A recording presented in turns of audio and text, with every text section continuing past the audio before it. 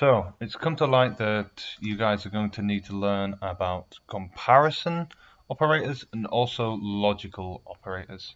So, what do I mean by that? So, comparison is just as it sounds. It's an operator that allows you to compare one to one item to another item.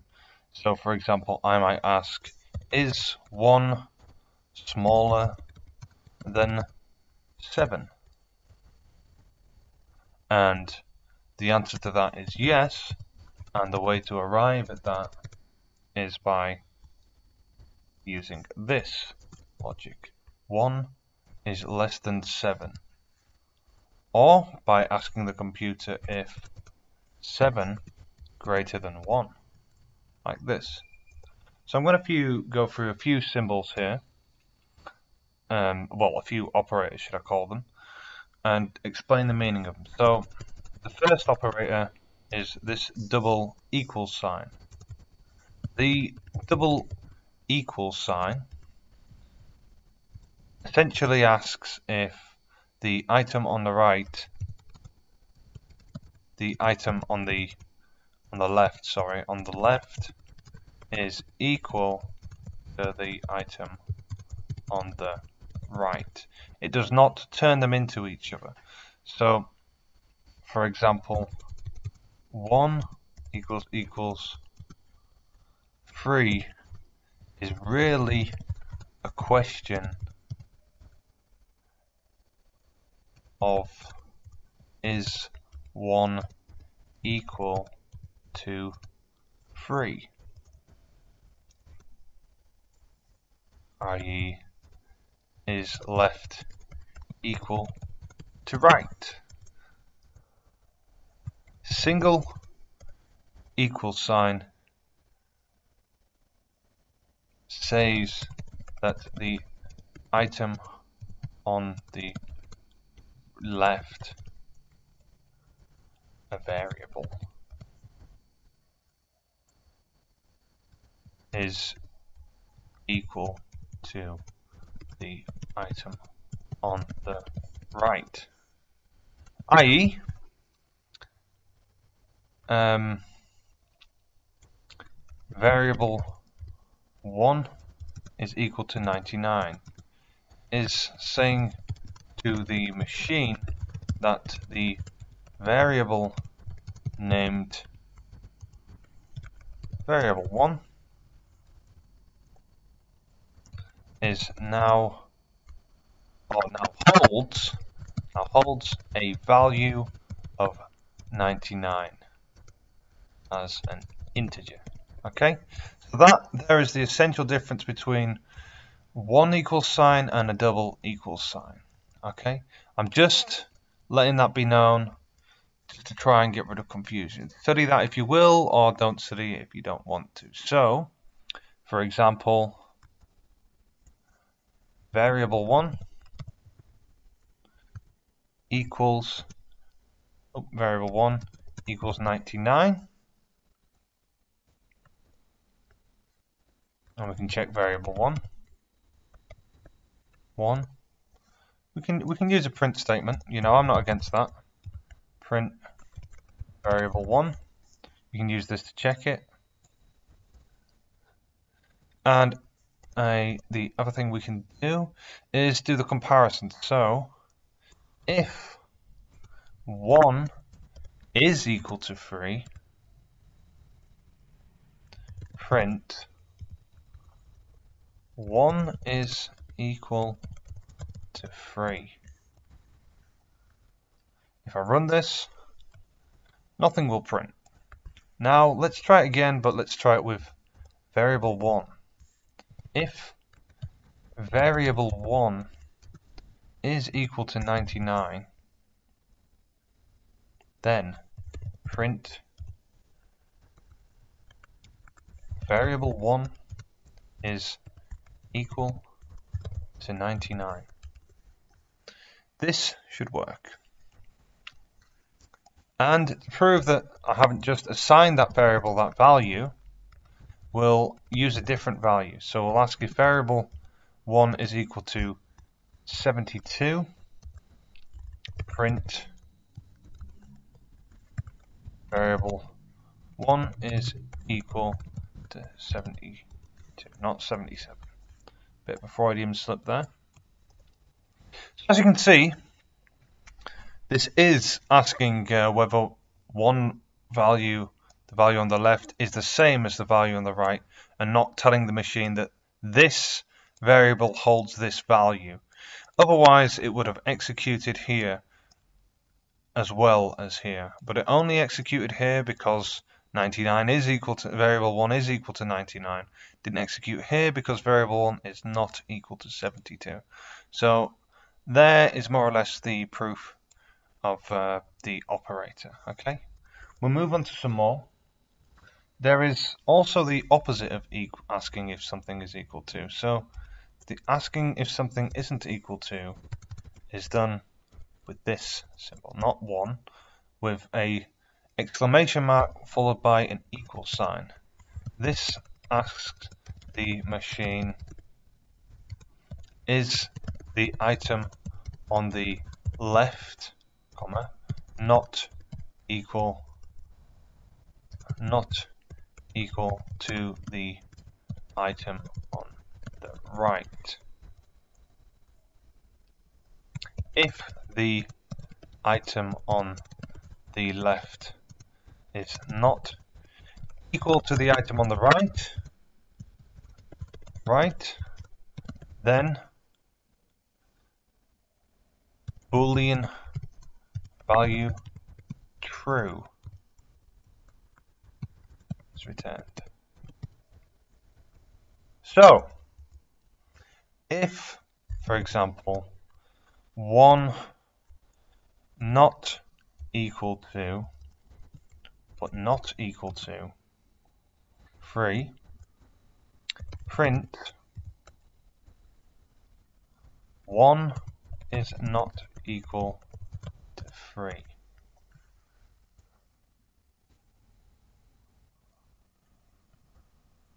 and there we are so this asks the question is 1 not equal to 3 is 1 not equal to 3 Yes, 1 is not equal to 3.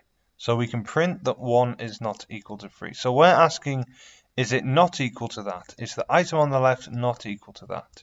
Is 1 not equal to 3? Yes, 1 is not equal to 3.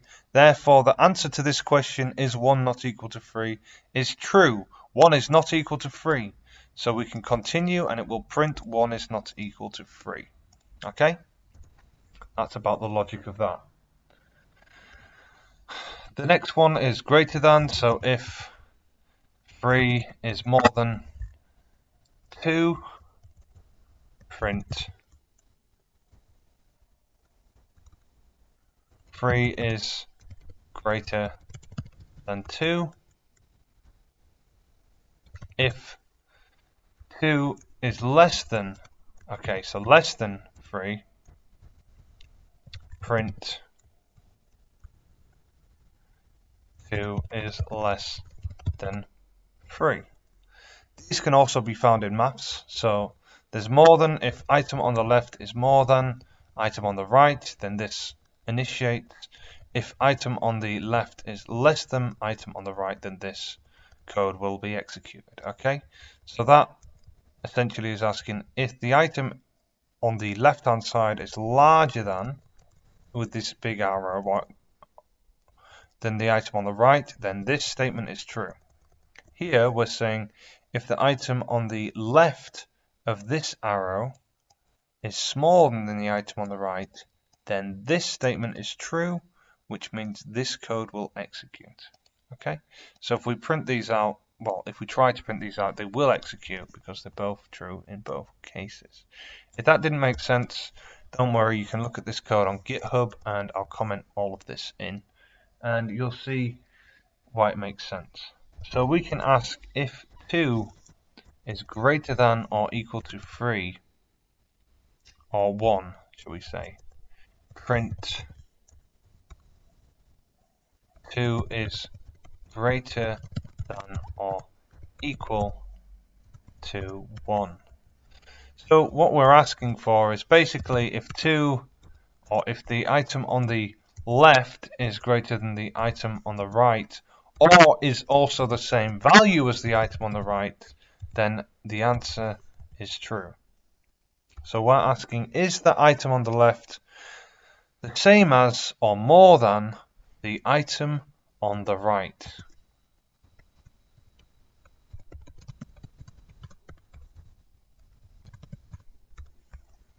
So if I re if I uh, use these, they should both be true. And just to just to prove it, I can change that value there. Change it back. I copy and paste this and then change it back.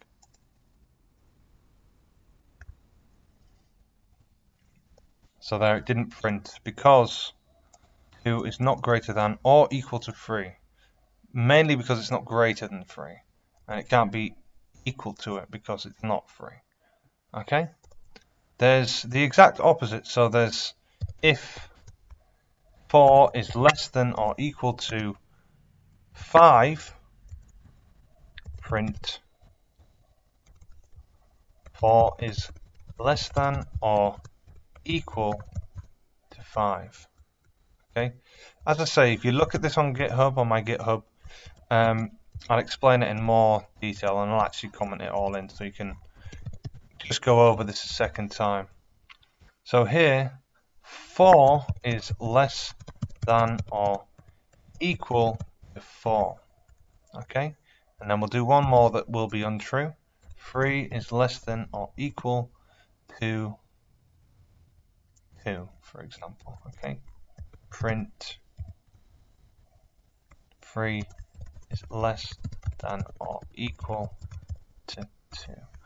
It might take you a little bit of time to get your head around it, but basically what we're saying here with this symbol is if the item on the left is smaller than in value than the item on the right, or is also equal to the value on the right, then this is true.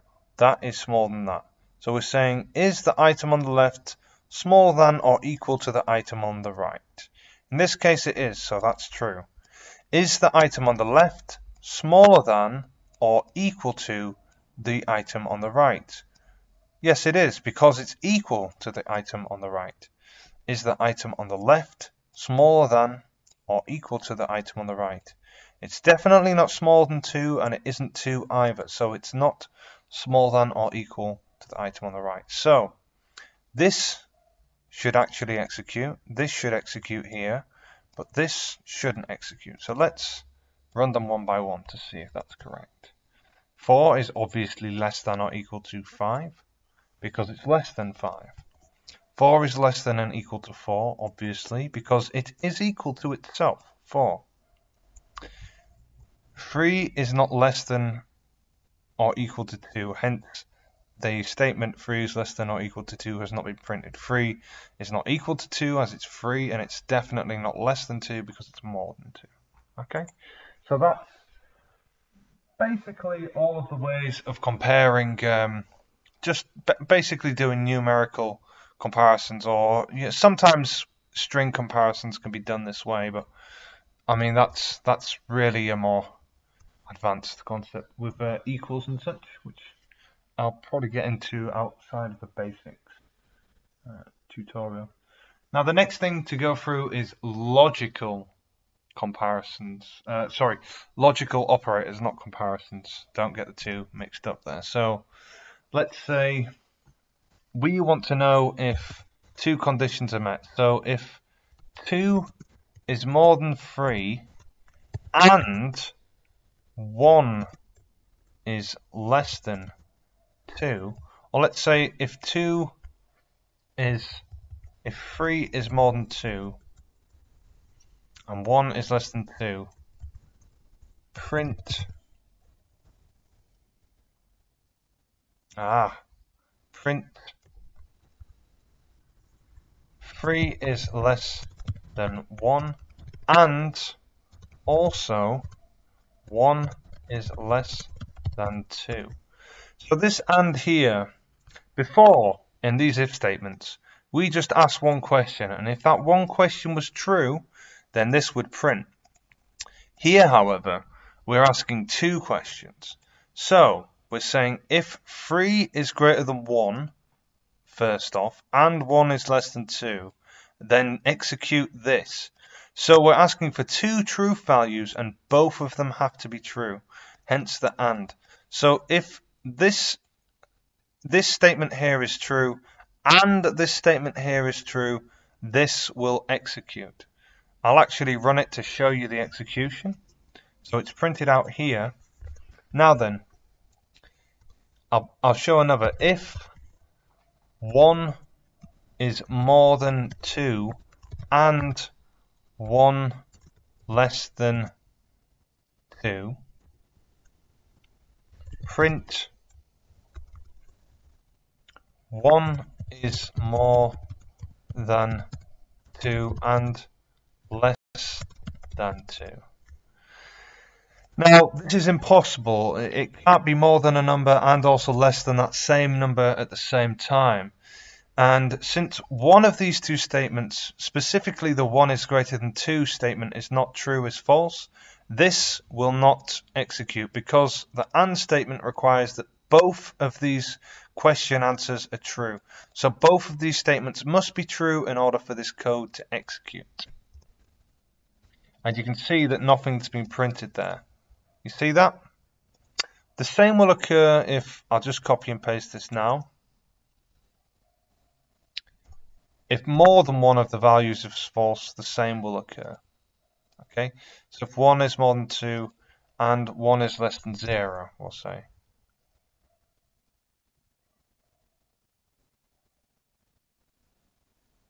Right, it's neither of those things, so this also won't print. But the AND allows you to essentially look for more than one true value. You could actually have, so I could add on here, if 1 is more than 0 and 1 is more than minus 1 and 1 is more than minus 2, print success all three truth con conditions met. Because now we're asking three question three questions and we want all three answers to be true. If all three answers are true, then we can actually execute this code. Success. All three truth conditions met. So there we are. So that's AND. Now, instead of just having and and making it mandatory for both of these or more than two of these uh, question answers to be true, the boolean values of the questions to be true, what if we just want one or the other to be true? So let's say if we want either 1 to be more than 0 or 1 to be less than 0, then print 1 is more than 0 or it is less than 0. So basically what it is what, what the computer here is saying is is this value stronger than this value? Is it more than this value? Is it less than this value?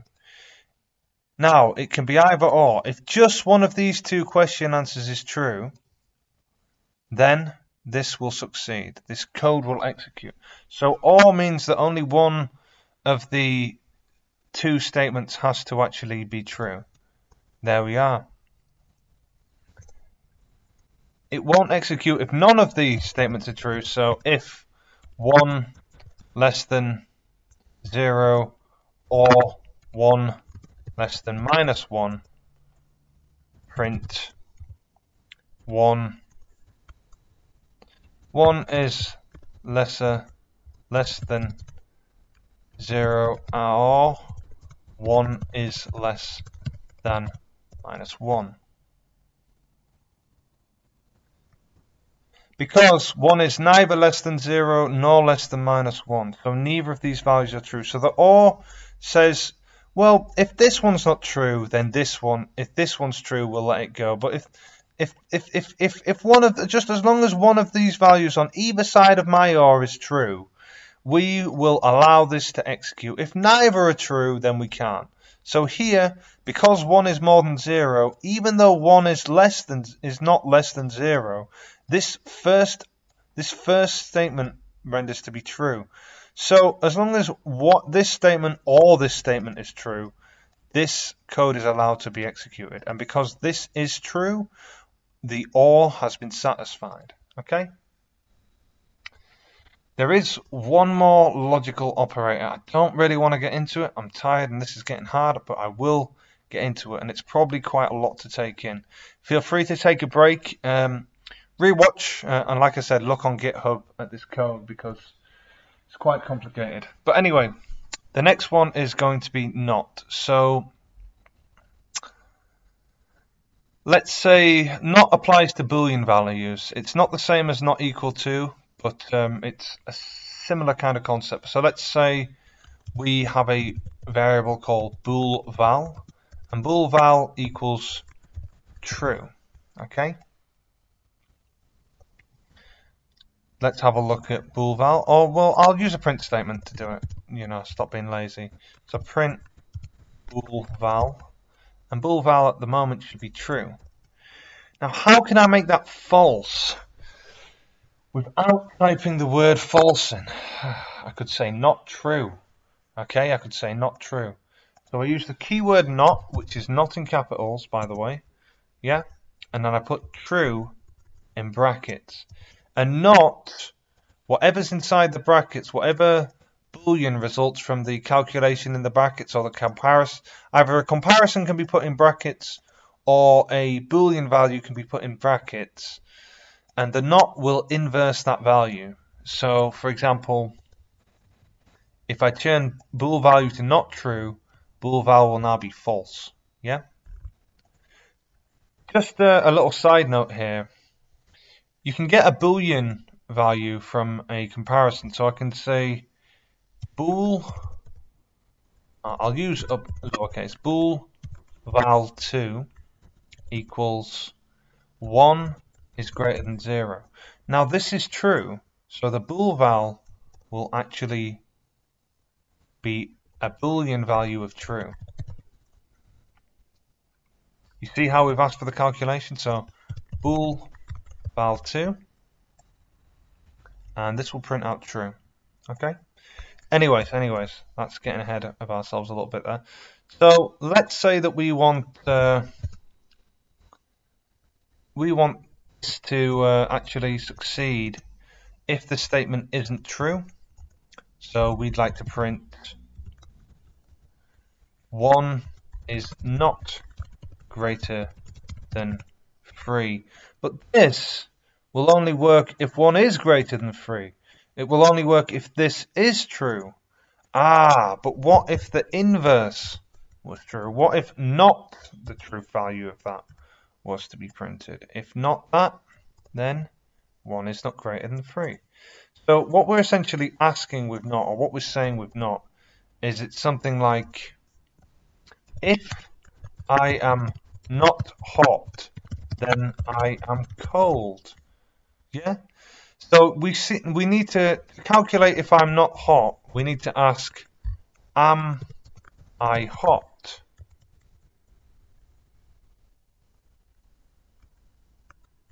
If I am not hot, then not hot equals true.